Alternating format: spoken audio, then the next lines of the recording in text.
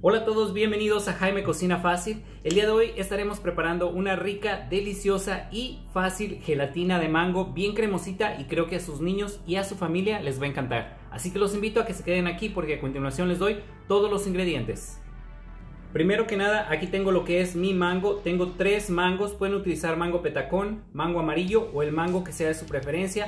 Únicamente son aproximadamente como 3 a 3 tazas y media de mango, pulpa de mango. Si no pueden conseguir mango fresco, también pueden conseguir mango congelado, lo pueden utilizar.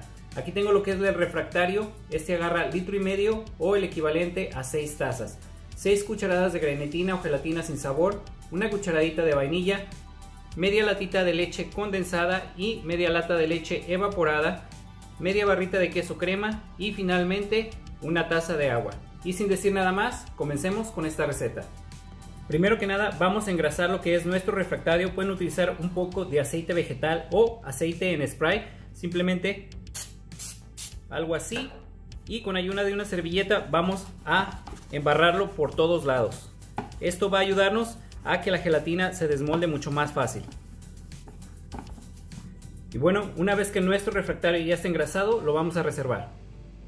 Ahora sí, aquí tengo lo que son mis 6 cucharadas de grenetina o gelatina sin sabor y mi taza de agua. Esta está a temperatura ambiente. Voy a agregar mi grenetina a la taza de agua y voy a combinar perfectamente.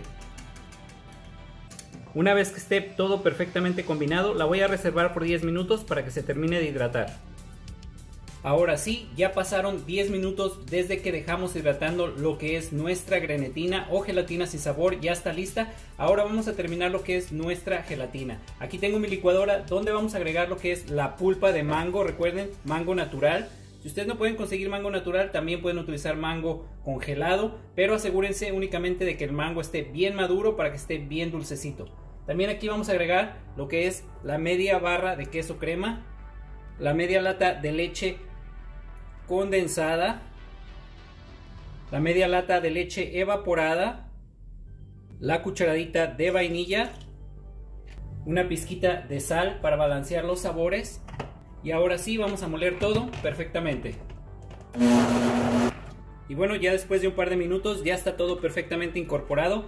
Ahora aquí tengo lo que es mi grenetina, ya estaba hidratada, recuerden la dejan 10 minutos, después la meten al microondas por 15 segundos para que se derrita y enseguida la vamos a agregar aquí mismo junto con esta mezcla y vamos a moler por un minutito más ahora sí después de un minutito más nuestra mezcla está lista vamos a ponerla en nuestro refractario y bueno, ahora sí, aquí está mi refractario. Recuerden, está previamente engrasado. Aquí vamos a agregar lo que es la mezcla de nuestra gelatina. Ahora sí, una vez que nuestra gelatina esté en nuestro refractario, la vamos a meter al refrigerador por un mínimo de 4 horas hasta que cuaje perfectamente para después poderla servir. Ahora sí, ya después de 4 horas en el refrigerador ya mi gelatina ya cuajó. En este punto únicamente si tienen un refractario como este, acuérdense de despegar lo que es las orillas y la parte del medio. Y ahora sí, aquí tengo un plato que humedecí un poco. En caso de que la gelatina no quede centrada es mucho más fácil de moverla. Lo voy a voltear y simplemente la vamos a desmoldar. Y bueno, finalmente así es como queda nuestra gelatina de mango, súper fácil, súper deliciosa y bien cremosita. Espero que les guste esta receta.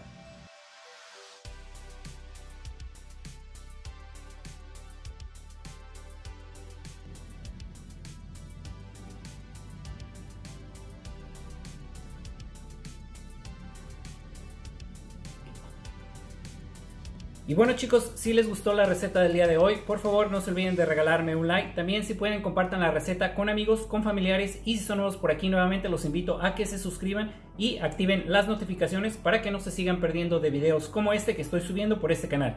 Recuerden, Jaime Cocina Fácil, estoy en Instagram, YouTube y también en Facebook. Así que los invito por ahí a seguirme y espero verlos en el próximo video. Que tengan un buen día, muchas gracias y provecho.